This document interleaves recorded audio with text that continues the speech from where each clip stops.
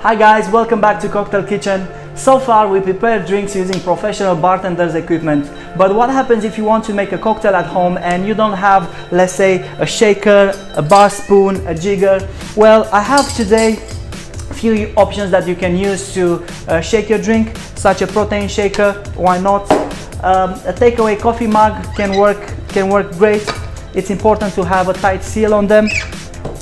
Well, I'm making today a whiskey sour and I'll use to shake my drink a standard uh, food container, plastic food container. So let's see how it goes. I'll add some ice in my food container.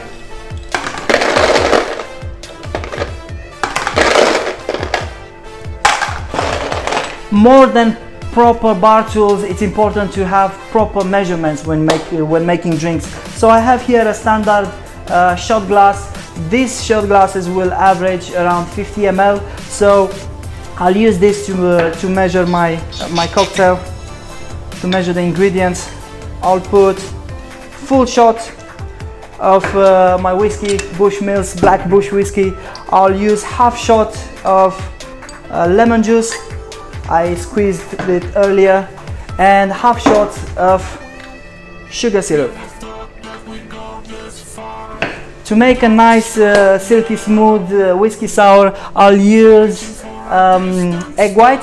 So I'll go ahead and crack the egg and just separate the white. There we go, job done. I'm uh, adding a bit more ice.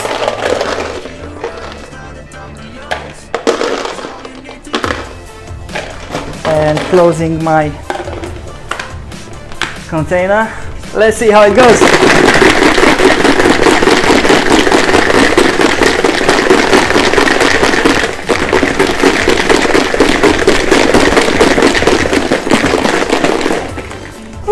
Looking good so far.